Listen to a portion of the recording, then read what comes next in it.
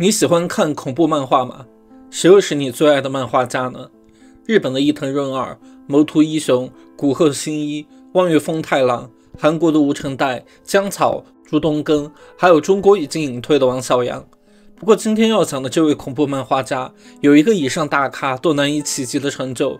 他的作品能把虚构的鬼魅带进现实世界，让纸片上的妖魔夺走活人的性命。这就是2013年推出的悬疑恐怖电影《杀人漫画》。美女漫画家江之允是韩国漫画界的新晋红人。如果十多年前你在网上浏览过韩国的网漫，应该有见过那种在拖动的卷轴里塞入高分贝跳下的作品。将作者的作品除去发售单行本，也会有这种卷轴式的动态漫画。另外，他还有个独特的习惯，每张原稿都会用自己的鲜血做墨水签名，然后再扫描送到出版社。深夜，将作者将新作远程发送给主编徐美书。电脑开始接收文件后，主编前去拿咖啡。不知为何，电脑上的漫画下载完毕后竟自动播放起来。主编回到工位间，屏幕上的主人公赫然就是他本人。再仔细一看，主人公的行动与过往也和他过去一模一样。一九八七年，少女时代的主编在校门口收到男孩叠的千纸鹤，浪漫的氛围被沙哑的声音打断。戴着黑色面纱的母亲前来接徐美书，微风撩动纱帘，母亲腐烂的面容吓到了周遭的人。人们不仅排斥恐怖的母亲，将她称作怪物，还连带排挤起美书。美书恨透了现在的生活。可他却将矛头指向生母，将日记本里的全家福画得千疮百孔。母亲无意间看到日记，心灰绝望中上吊自杀。美术本能的上前想要救下妈妈，可回想起近来的遭遇，他依然松手。看着母亲死在自己面前，这件事本该只有王母和美术知情。徐主编火冒三丈，打给江作者，质问他是从哪里知道这件事的。一瞬间，所有照明熄灭，窗帘自动合上，甚至出口也被封闭，无法逃离。整个办公室像逐渐闭合的血盆大口，用黑暗吞没了徐美术。主编拿起美工刀，却发现屏幕上的漫画竟预判了他的行为。徐主编咆哮着，让捉弄他的人现身。回过神来时，握住美工刀的手已不由自主地刺向他的眼睛。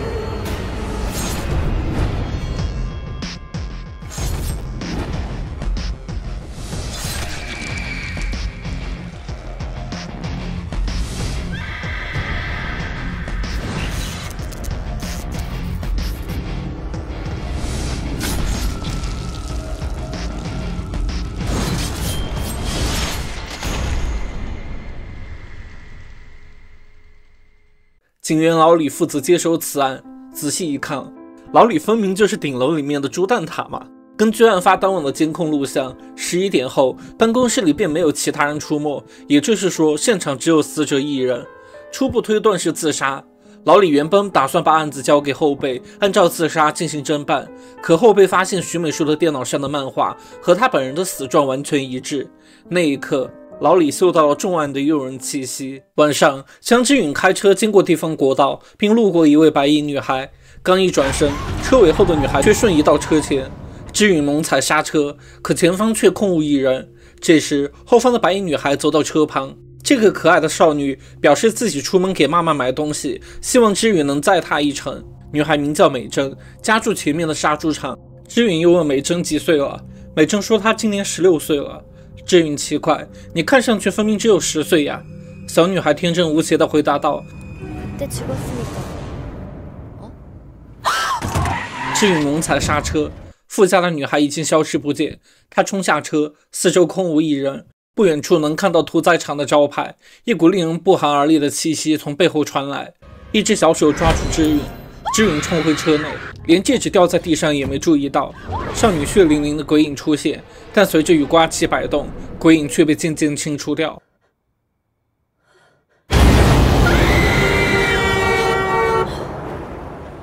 志允惊醒，原来刚才只是噩梦。昨晚他就在这个地方国道上睡着了，但他并不记得有来过这里。志允最近一直被噩梦困扰。醒来便出现在陌生的场所，有时候会有东西不翼而飞，手上不知何时多了一条疤痕。心理医生告诉知允，他可能患上了爱丽丝后遗症，这种疾病是困扰不少创作者的精神问题。譬如《爱丽丝梦游仙境》的作者刘易斯·卡罗尔就深受其困扰，会分不清虚构作品和现实。知允可能是因为最近熬夜赶稿太累了，医生建议他放下工作，好好休息一段时间。我查了一下资料，AIWS 确实是存在的，但和电影中的描述有很大的区别。AIWS 最早于1952年。有一位美国医学家提出，因此他和19世纪的刘易斯·卡罗尔并无关系。这种病的患者会产生视错觉，误判事物的大小和远近，如同进入大人国或是小人国。像是 UP 本人，就偶尔会感觉眼前的人头变得像葡萄一样小。这里应该是编剧为了方便叙事，虚构了一种同名疾病。法医解剖了徐美淑的尸体，确定是死于颈动脉大出血，凶器上只有徐美淑的指纹。尸体上和凶案现场也确实没有外人的痕迹。目前的证据说明徐美淑应该死于自刎。不过，死者模仿漫画自残的行为实在是令人费解。徐美淑右眼被捅穿，面部多处刀伤，切颈部的伤口明显是被捅进去。与其说是完美的自杀，不如说是完美的密室他杀。老李为了升职加薪，决定加大力度调查此事。他首先想到知云的漫画。前面说过，也和很多韩国网漫一样，喜欢在卷轴里植入跳下。这篇叫《守尸人》的漫画就把老李吓得魂不附体。英秀回来后，老李立刻佯装镇定，并告诉英秀，徐美淑的案子已经刑事立案。英秀这下不乐意了，下个月妻子就要临盆，身为准爸爸，他希望能在关键时刻陪在妻子身边。知允在水床上休息，家中的风扇自动停转，一阵门铃声把他吵醒。来人竟然是徐美淑。知允问主编为什么不先打个电话，并准备把他迎进家门。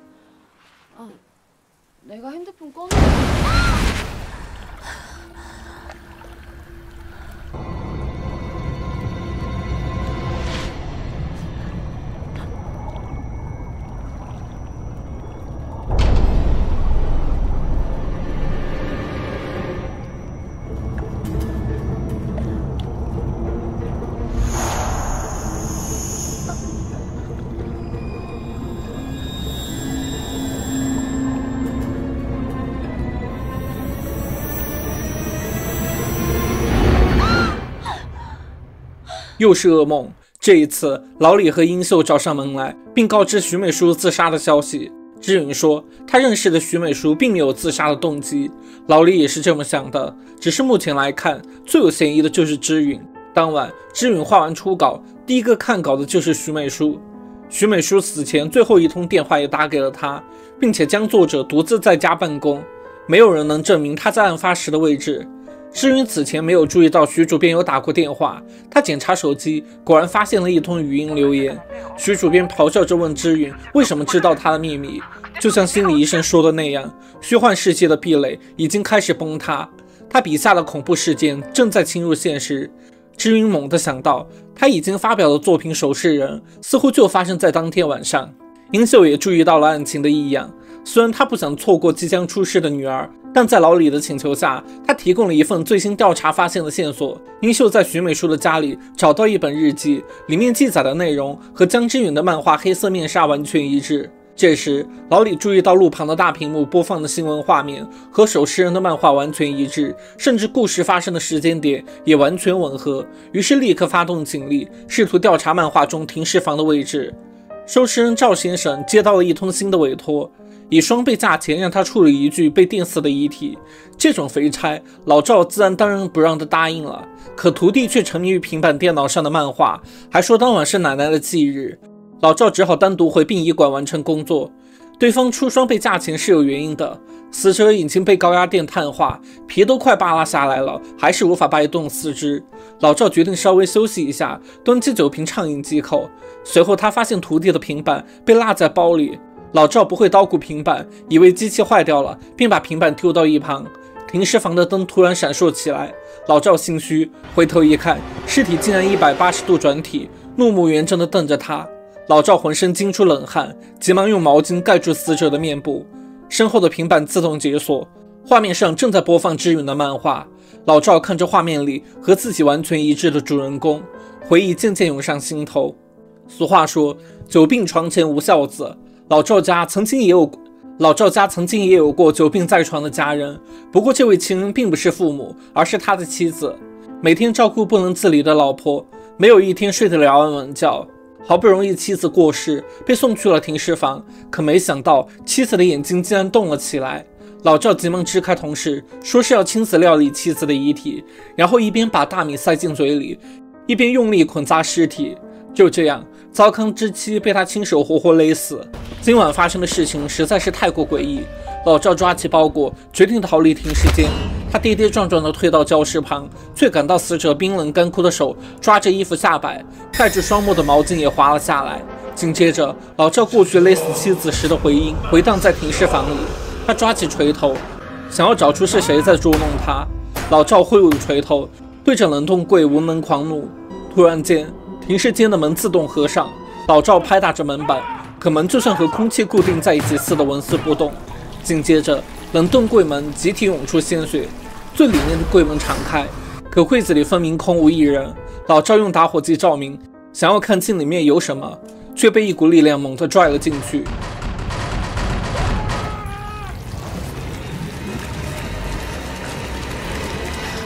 志允把守尸人的漫画打印出来，将不同的分镜拼凑起来，合成了一幅完整的街景。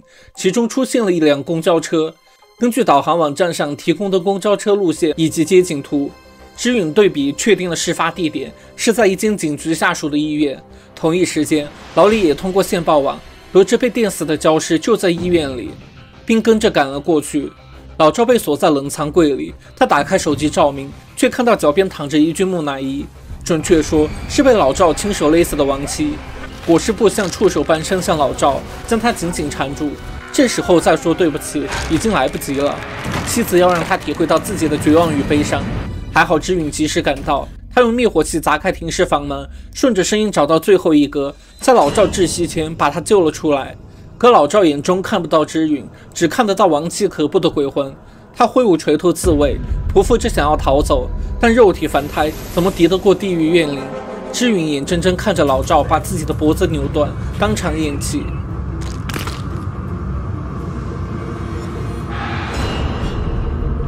老李和英秀姗姗来迟，立即逮捕了知允。老李一口咬定知允就是真凶。知允喊冤，他并不认识老赵，没有理由要杀害他。那为什么他会知道老赵的秘密呢？无奈之下，知允坦诚了秘密。原来他的漫画全部都是抄袭别人的作品。一年前，知允的作品《疯狂的历史》大获成功，被誉为恐怖漫画第一人，甚至还和出版社签下了天价合约。只是灵感枯竭的知允一直画不出相称的故事，直到某天，有人给他的邮箱发送了一些未公开的手稿，这正是他梦寐以求的故事。最终，欲望战胜了良心，知允决定将这些作品据为己有，并进行一比一的临摹复刻。英秀搜查了江作者的别墅，果然发现了他所说的原稿。以前江之允声称会用血液来签名，以证明作品的归属，万万没想到，这一切都是彻底的谎言。英秀注意到，在原稿中还有一位双马尾的女孩。目前的两起命案中，并没有她的身影。警方根据寄件人的 IP 地址锁定了大致方位，英秀负责排查详细地址。过程中，英秀看着知允的另一篇漫画，其中记录的竟然是英秀五年前的往事。五年前的一个夜晚，春风得意的英秀一边和女友聊着结婚的事，一边心不在焉地开车。突然，汽车似乎撞到了什么东西，英秀下车。路上貌似并没有障碍物或是行人，地上扔着一个塑料袋。电信部门的工作人员打断了会议，通过排查，他们已经确定发件人就住在附近的幸福小区。不过幸福小区早已无人居住。另外，似乎有什么人刻意将小区的通讯电缆切断了。工作人员都拒绝给英秀引路，因为据说那边闹鬼。所谓的闹鬼，其实是说社区里有个叫赵瑞贤的女孩。五年前，少女在墙壁上画了一位被货车碾压死的女孩。不久后，那位少女就真的死了。人们都说瑞贤被鬼附身了，把他视作不吉的恶鬼。瑞贤受不了霸凌欺辱，一把火烧了住处，随后便消失得无影无踪。巧合的是，瑞贤的父亲就是老赵。更有趣的是，原来江之云以前也住在幸福小区。知允承认调查结果，不过他很久没有见过瑞贤了。那场大火也不是瑞贤放的。五年前，知允每天拼命作画，向出版社递交厚厚的原稿，可努力却换不来回报。志允的希望不断落空，他的作品也被批得体无完肤，生活暗无天日，看不到半点希望。某天，志允看到少女赵瑞贤在墙上作画，一群少年不停推搡瑞贤，志允赶走了坏孩子，可怜的瑞贤扑倒在志允怀里嚎哭。就这样，两个同样不被世人接纳的女孩开始相濡以沫的幸福生活。每次瑞贤被鬼魂骚扰，开始在地上作画时，志允就把妹妹抱进怀里。直到某天，一位母亲的女儿被货车撞死，恰好志允此前就画过被货车碾死的女孩。女孩母亲认为是瑞贤把厄运带给女儿，叫嚣要赶走知允和瑞贤，否则就放火烧掉他们的居所。愤怒的知允举刀割腕，用鲜血捍卫了他们的家园。之后，两人度过了一段平静的时光。可某天，当知允的漫画被出版社录用时，他们的家却被人纵火烧掉，瑞贤也就此下落不明。两人来到当年的住处，在围栏后果然找到了一台电脑，上面确实保存着瑞贤的画作。画的内容是被货车碾死的少女，也就是知允第一次搭救瑞贤时，瑞贤在墙上画的那幅画。这么看来，瑞贤才是第一嫌疑人。他的父亲老赵的惨死，是否还有更多隐情呢？知允坚持捍卫瑞贤的名誉，毕竟他只是个画画的。老李说：“你认为是鬼魂作祟，我认为是人类犯案。不管怎样，所有受害人都是让瑞贤的画死掉的，所以事情一定和他有关。”谈话期间，餐厅外似乎有人在窥视二人。用餐结束后，知允突然收到瑞贤发来的短信，约他在老地方见面。老李看出知允神色慌张，猜到瑞贤和他取得了联系，他转身去买烟。趁这个空档，知允爬到驾驶室，锁上车门，发动油门扬长而去。错愕的老李急忙打给警局，让同事锁定知允的位置。抵达小区后，知允到处搜寻瑞贤的身影，出现在眼前的。却是瑞贤阴森骇人的面容。原来刚才又是噩梦。志允下车，刚走进幸福小区，就有什么东西急速向他袭来，将他一棍子打晕。老李赶到幸福小区，只看到空车和志允的电话。他给英秀拨去电话，告诉他志允夺车逃逸，并认定志允和瑞贤是共犯。英秀托辞说老婆正在产检，不方便归队。突然，老李注意到英秀说了句不自然的话。英秀正在陪老婆产检，怎么会知道志允在饭店门口逃跑呢？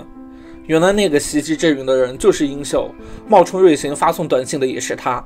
还记得故事开头，志允在梦中梦到了那个白衣少女美珍吗？六年前，英秀开车分心，不慎把白衣少女碾到车下。当时英秀想过要救出少女，可耳机听筒传来女友的声音。岳父同意让他们结婚了，他不能让车祸缴获了自己的美满前程。于是英秀绝情地扔下少女，驱车逃离了现场。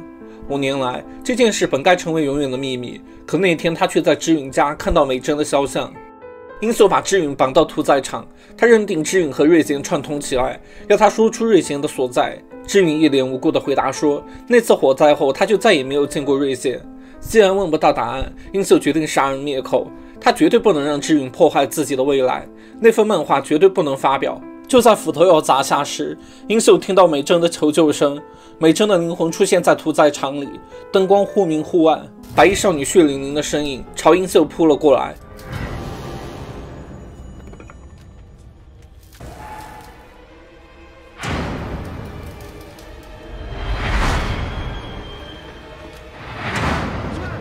英秀对着空气开了三枪，全部打空。老李离开幸福小区，突然听到养猪场的方向传来三声枪响，他急忙冲进去，只见到倒地的知允。英秀用枪对准自己的太阳穴，并哭着向前辈求助。老李让他放下枪，英秀却说是美珍的鬼魂在控制他自杀。还没等老李反应过来，英秀就扣动扳机，倒在他的面前。一如五年前的罪恶之夜，好雨倾盆而下。警方赶到后，老李拼命强调英秀并非自杀。下个月就要当爸爸的男人怎么会自杀呢？不过老李声称听到三声枪响，可英秀的枪支里只射出了一发子弹。案发现场还有太多未解之谜。可长官为了保护下属，决定按自杀结案。毕竟按照案发现场的状况，老李才是头号嫌犯。看着英秀手机里的 B 超录像，一向幽默的老李整天以泪洗面。直到后辈送来一副案发现场找到的诡异画像，下面落款处写着“美珍”，正是英秀口中女鬼的名字。一瞬间，像被闪电劈中般，老李想起了一条重要线索。以前英秀就说过，如果知允的漫画真能预测未来，那说不定以前也发生过类似的案件。老李赶紧翻出知允的出道作《疯狂的历史》，里面果然记录着更多恐怖的事件，譬如前面提到过的被货车碾死的女高中生，精神科女院长在家中浴池溺死，以及负责和幸福小区谈判拆迁事项的朴律师上吊自杀。老李紧急启程，奔向志允的别墅。与此同时，志允正在销毁漫画原稿，电脑上突然收到一封邮件。这一次漫画的主角正是志允本人，故事也终于为我们揭开了残酷的真面目。五年前，志允和瑞贤初次相识。瑞贤告诉姐姐，母亲去世后，父亲老赵便抛弃了他，说是看到他就会想到亡妻。还是个孩子的瑞贤被锁在灵堂里，整日和母亲为伴。那时起，瑞贤突然听到母亲的亡魂向他倾诉遭遇，亡者的声音是无法回避的，只有把故事画出来，那些声音才会逐渐消停。知允抱住瑞贤，表面上是要安慰他，可实际上他却悄悄把稿纸递过去。任瑞贤成为他的引舞者，志允将这些故事复刻成新稿件，带去了出版社。徐主编说，这些作品就像是真实发生过的故事，并向志允确认是否是他的原创。志允昧着良心点了点头，带着好消息回到幸福社区，却发现家中起火，放火的不是别人，正是瑞贤。可知允并没有关心瑞贤有没有受伤，他在乎的只有那堆原稿。瑞贤知道姐姐在利用自己，剽窃他的作品来谋取利益。这些画作一旦被发表，主人公便会被冤魂索命。知允哪里在乎这些？他心里只想着飞黄腾达。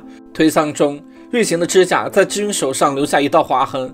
知允发疯似的将妹妹按倒在地，说出内心的真实想法。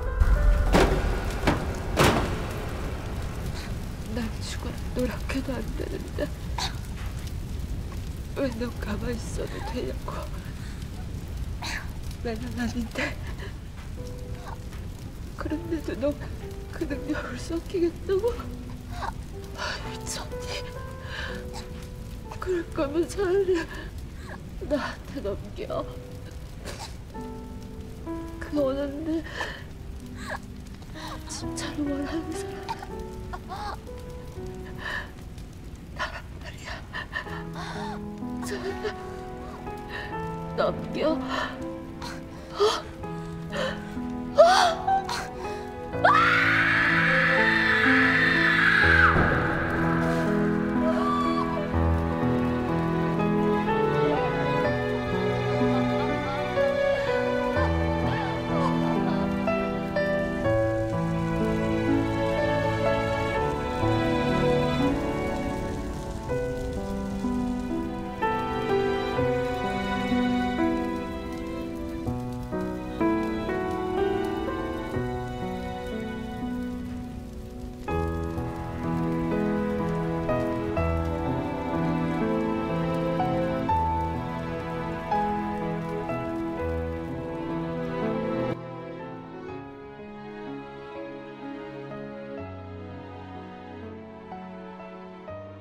老李赶到知允家时，知允已经逃走。他急忙赶往幸福小区。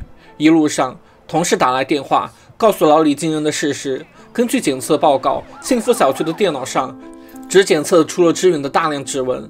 也就是说，赵瑞贤早已死在那场火灾，一切都是知允的自导自演。那个在幸福小区里画下原稿寄给知允的，就是他本人。黑暗中，知允仿佛看到流泪的瑞贤，一如当年那样纯洁美丽。知允只轻轻说了一句“对不起”，瑞贤便原谅姐姐的过错。哪怕被姐姐利用剥夺，他依然是世界上唯一真心对瑞贤好过的人。所以瑞贤愿意把自己的一切都交给他。不久后，知允的第二本漫画故事大获成功。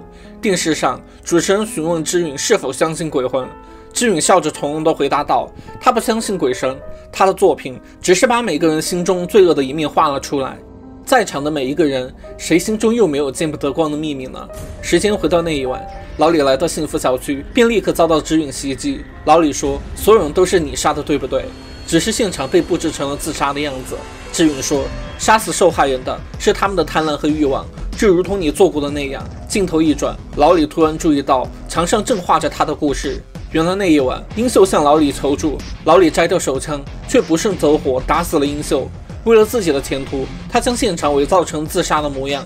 开枪杀死英秀的是前辈的不小心和贪婪。老李拼命否认，并将枪口对准知允。就在扣动扳机前，英秀的灵魂出现，握住前辈的手，子弹对准前辈的太阳穴射出，知允头也不回地离开现场。紧随他身后的是数不清的地狱恶鬼。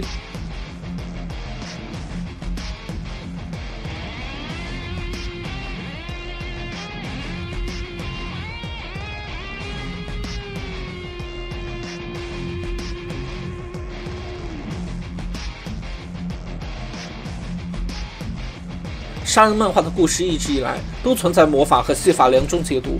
相信魔法书的观众会认为知允继承了瑞贤的能力，被妹妹宽恕，并成为了地狱恶鬼在人间代行复仇的替身。相信戏法书的观众则认为一切都是知允做的。电影虚实结合的叙事手法其实很容易让观众迷糊，分不清哪些是真实发生过的事件。传统的推理作品里都有一个可信的侦探视角，但影片三位主角知允、英秀和老李都是凶手。尤其看上去非常可靠的老李，最后却对女主角挥舞屠刀，这就导致观众的信息获取手段非常有限。不过，杀人漫画并非本格推理作品，这个故事中依然有大量细节无法通过常规手段得到解释。比如徐美淑和老赵的自杀现场其实是有监控设备的，尤其是停尸房。徐主编自杀时，现场也没有江之允的指纹。这两起案件如果硬要说是之允做的，电影又没有交代他是如何欺骗摄像头执行完美犯罪的。英秀被误杀的那一晚，按照电影给出的视角，英秀一开始确实掏枪对准自己的太阳穴。既然他绑走了之允，又怎么会突然畏罪自杀呢？另外，江之允又是如何获取这么多人的私密信息？如果没有超自然力量的介入，这些都得不到解释。接下来，我会将两种假说结合起来，在承认超自然设定的前提下，尽量给出一个相对合理的解答。入殓师老赵有一个卧病在床的妻子，在经历五年的陪伴后，妻子一度陷入假死状态。就在处理遗体时，老赵发现妻子没死，于是动了邪念，将妻子活活勒死。